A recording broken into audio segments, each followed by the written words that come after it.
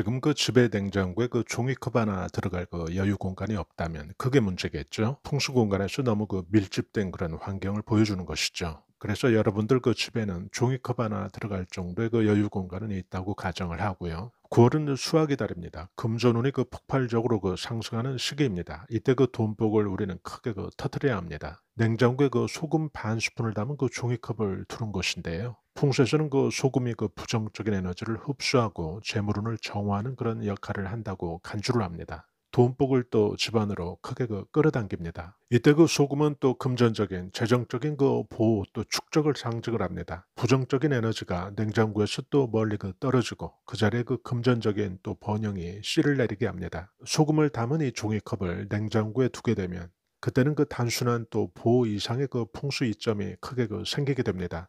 종이컵은 또 오행이 목입니다. 오행 그 목기운은 돈복의 성장을 암시합니다. 그 돈복의 성장 안에 담겨 있는 이 소금은 오행 그 수기운, 동시에 그 양기운까지 또 포함합니다. 이렇게 되면 또 냉장고 안에 그 습기라든지 또 부정적인 기운을 그 흡수를 합니다. 그 돈복의 성장이라는 재물의 그 흐름까지 또 상징을 한다는 것입니다. 이렇게 종이컵에 또 소금을 넣어두게 되면 냉장고 안에서 또 자연스럽게 그 공간이 그 재물운의 그 활성화 공간으로 바뀌게 됩니다. 집안으로 또 금전적인 그 기회는 더 많이 찾아올 것입니다. 냉장고에 그 가득 축적되어 있을 그런 기운들이 소금을 통해서 그 정화가 되고 또 강화가 될 것입니다. 9월이라는 이 풍요의 시기, 수학의 시기와 또 맞물리게 된다면 냉장고 속에 그 쌓인 금전운이 또 크게 원활하게 활성화될 것입니다. 재물의 흐름을 지속적으로 또 풍요로 이끌어줄 아주 좋은 그 풍수 방법이 되어줍니다. 9월에 그 냉장고에 소금을 담은 그 종이컵을 두르는 이런 간단한 또 풍수 의식으로 집안의 그 돈복의 그 활력을 불어넣어 주시기 바랍니다.